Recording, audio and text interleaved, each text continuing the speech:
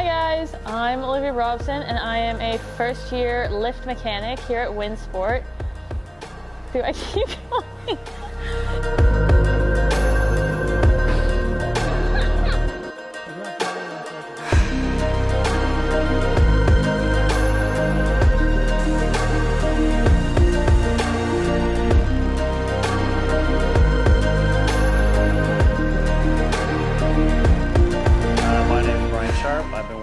Olivia for about nine months now as she's apprenticing, so I'm helping her with the training on the mechanical side, and she's doing a very good job with it. She's going to be a good fit.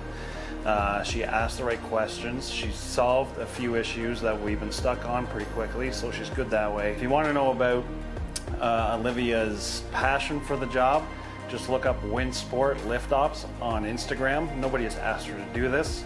Nobody is making her do this. Nobody's paying her extra to do this. And she does these little write-ups with pictures about Winsport that are really, really well written and really well done. Check it out. It'll show her passion for the job. Uh, so on top of normal lift maintenance activities, so we take apart assemblies, um, rebuild grips and stuff like that, and all the daily checks and things that come along with running two chairlifts in the summer.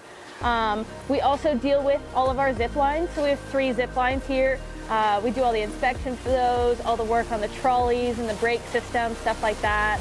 Um, I'm also on the health and safety committee, and I run the Instagram. Hey, I'm Danielle, or as lots of people call me, Danny, and I'm the Supervisor of Lift Operations and Projects here at Winsport Canada Olympic Park.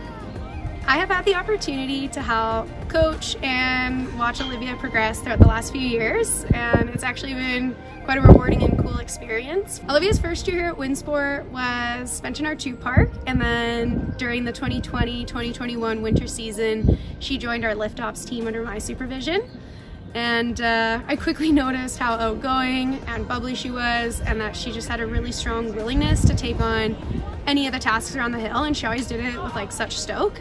Uh, whether they were like the little teenage park riders or the tiny kids on the carpets or even our regular morning power lappers, she always found a way to connect with them and we noticed throughout the years that some of those impressions really stuck with those guests.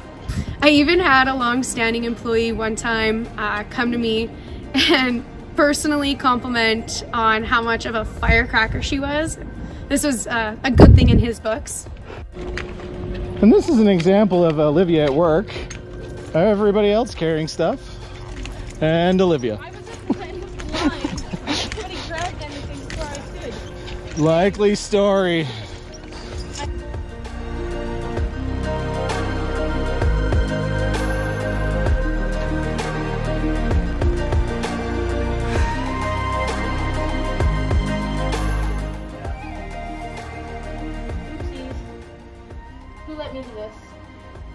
You, you let yourself do